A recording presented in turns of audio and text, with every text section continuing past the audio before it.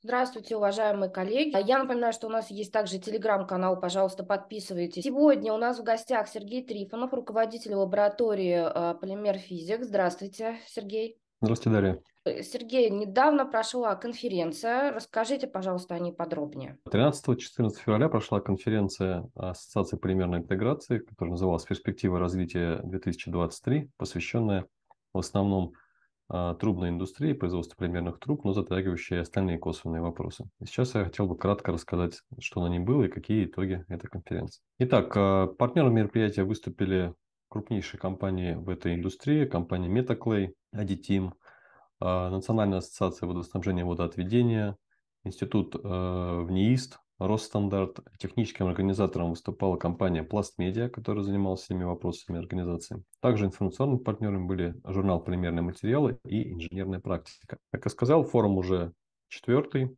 Э, тем не менее, его аудитория, соответственно, постоянно растет. В этом году уже более 90 участников в очной форме и 40 участников онлайн. Онлайн получил популярность после пандемии.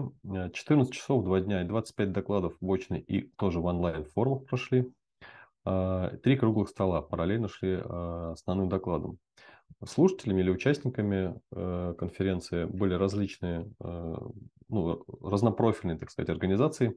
Это ассоциации и НИИ, в том числе даже иностранные, а, компании, поставщики оборудования и материалов, производители полимерных труб и фитингов, также маркетинговые агентства, э, средства массовой информации, конечно, даже товарно-сырьевая биржа принимала участие.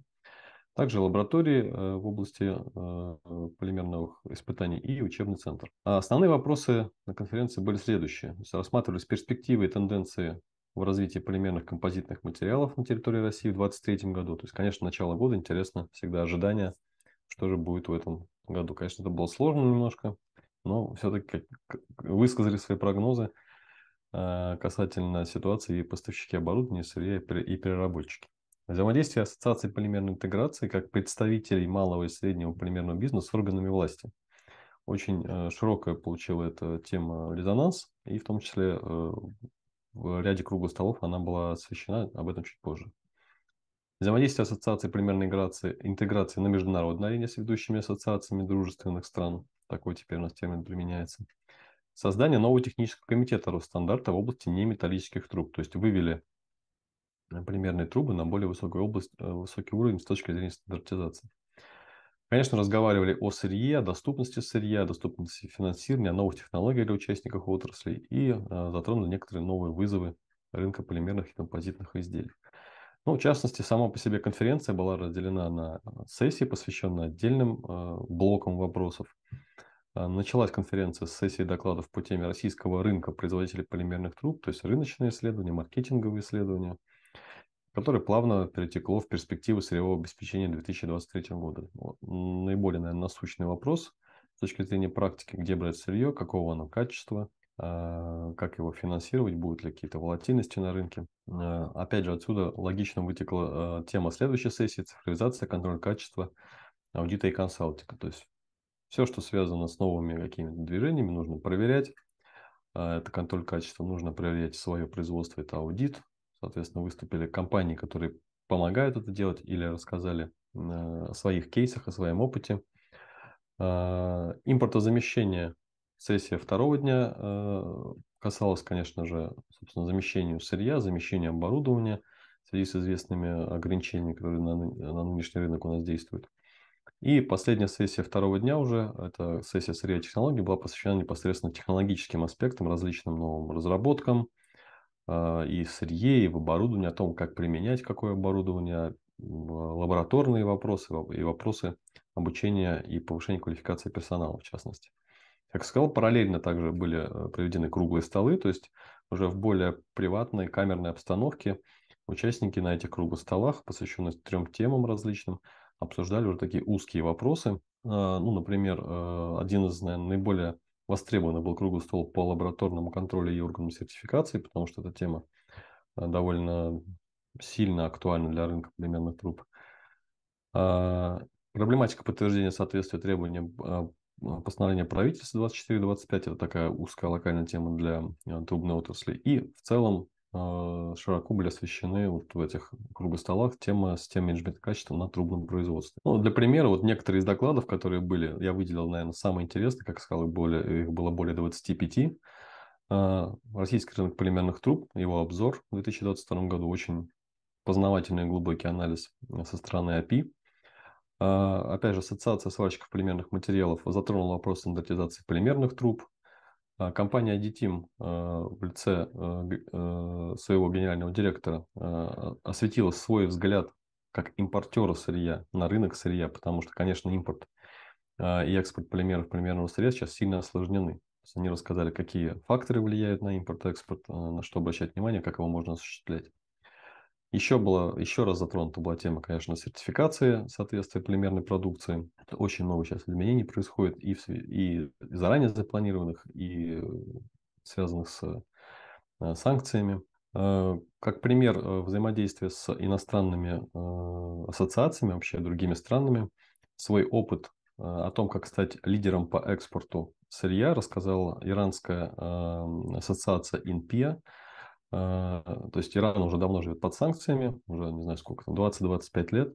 Они уже к этому привыкли, и они поделились, собственно, опытом, как же, что, что следует делать теперь нам а, в России, а, как лучше использовать то, что есть. Кстати говоря, один из слайдов интересный был, по-моему, как раз компания Additim, если не ошибаюсь, количество санкций в штуках, которые наложены на различные страны, и Россия там несколько раз превышает ближайшего своего второго, второе место, по-моему, как раз Иран или Афганистан, несколько раз. То есть у нас несколько сотен санкций, у них десятками измеряется. А, один из докладов был посвящен системе менеджмента качества на производственных предприятиях и особенностях его внедрения.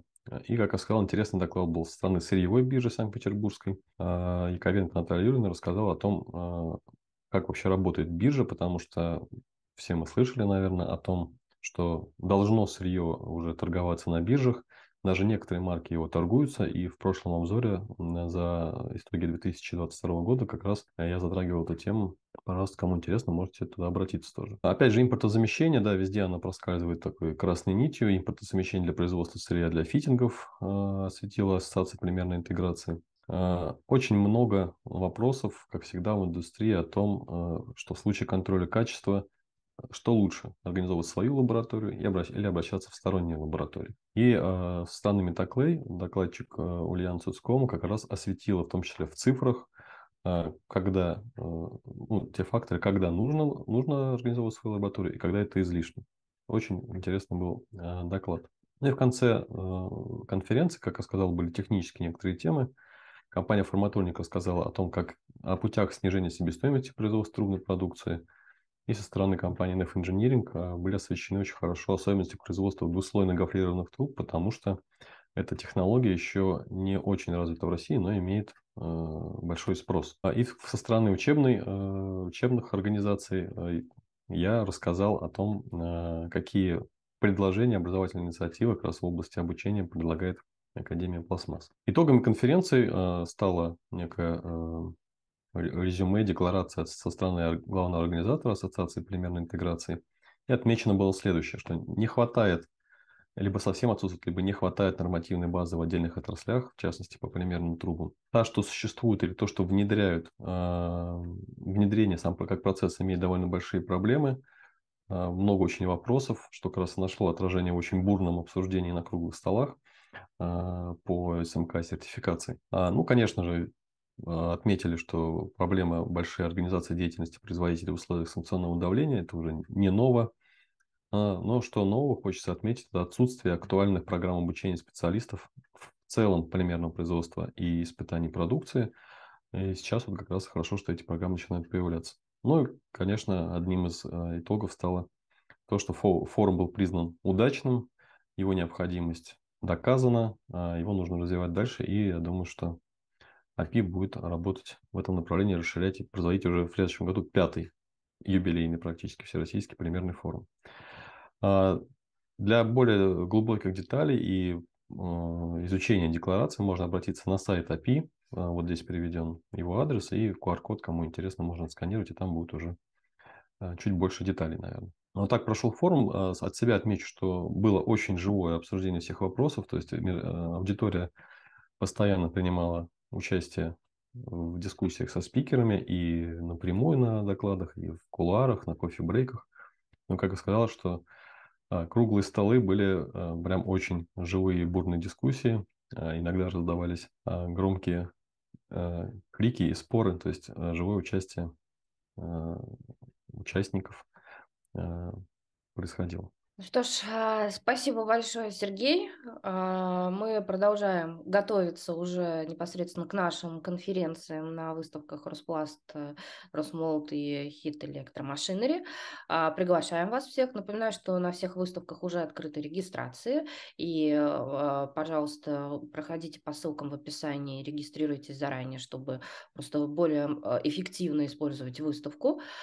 Ну а я прощаюсь с вами. Как всегда, увидимся на выставках.